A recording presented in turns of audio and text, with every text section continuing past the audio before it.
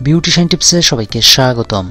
আমাদের আজকের আলোচনার বিষয়, গোলমরিচের ঔষধি গুণ জানলে প্রতিদিন খাবেন।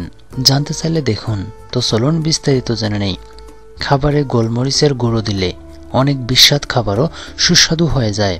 বিশেষ করে স্যুপ কিংবা ডিম সিদ্ধ করে উপরে একটু গোলমরিচ গুঁড়ো ছড়িয়ে নিলে খাওয়ার স্বাদই বেড়ে যায়। আবার কোনো কোনো চাইনিজ রেস্তোরাঁয় খেতে গেলেও নুডলসের সঙ্গে একটু গোলমরিচ না হলে চলেই না। তবে শুধুই কি স্বাদ বাড়াতে সক্ষম গোলমরিচ? তা কিন্তু নয়। গোলমরিচে এমন কিছু রয়েছে যা স্বাস্থ্যের ক্ষেত্রে মহা ঔষধের মতো কাজ করে। তাই কেবল স্বাদ নয়, স্বাস্থ্যের কথা মাথায় রেখেও খাবারে গোলমরিচ দিতে পারেন। সর্দি কাশির ক্ষেত্রেও গোলমরিচ অত্যন্ত কার্যকরী। কিন্তু তাছাড়াও গোলমরিচের বেশ কিছু উপকার রয়েছে। ত্বকের কোনো রোগ থাকলে তার চিকিৎসায় কাজে লাগে গোলমরিচ। গোলমরিচ গুঁড়ো করে স্ক্রাবার হিসেবে ব্যবহার করতে পারেন, এতে ত্বক থেকে মৃত কোষ দূর হবে।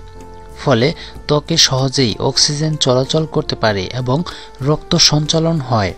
পিগমেন্টশন এবং একনে দূর করতেও সাহায্য করে গোলমরিচ। গোলমরিচের খোসা অতিরিক্ত মেদ ঝরাতেও সাহায্য করে। ফলে গোলমরিচ দিয়ে খাবার বানিয়ে খেতে পারেন।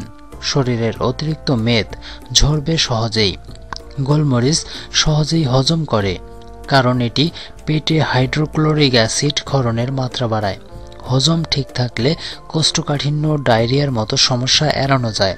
হজমের সমস্যা থেকে অনেক রোগ শরীরে বাসা বাঁধে, ফলে সেগুলো এড়ানো যায়।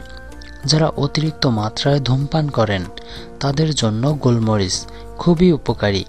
গোলমরিচ তেলের গন্ধ নিয়মিত সেবন করতে পারেন অথবা সরাসরি গোলমরিচ খেলেও ধূমপানের প্রতি আসক্তি কমবে অনেকটাই। দাঁতে ক্যাভিটি বা ব্যথা থাকলে মুখে গোলমরিচ রাখতে পারেন। ব্যথা নিরাময় করতে গোলমরিচ সাহায্য করে। এমনকি নাক বন্ধ থাকা হাঁপানি থেকেও মুক্তি দিতে গোলমরিচের জরিমেলা ভার।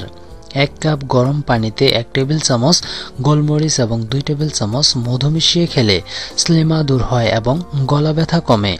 গোলমরিচ খেলে শরীর গরম হয়ে ঘাম বেশি হয়, ফলে শরীর থেকে অতিরিক্ত টক্সিন কমতে থাকে, ফলে ত্বক ভালো থাকে এবং ওজনও নিয়ন্ত্রণে থাকে।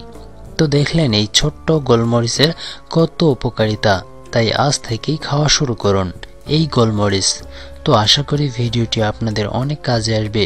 ভিডিওটি যদি ভালো লেগে থাকে তাহলে অবশ্যই লাইক দিন, আপনার মূল্যবান মতামত কমেন্ট বক্সে জানিয়ে দিন।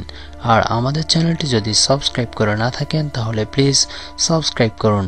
সবাই ভালো থাকুন, সুস্থ থাকুন, দেখা হবে পরবর্তী ভিডিওতে।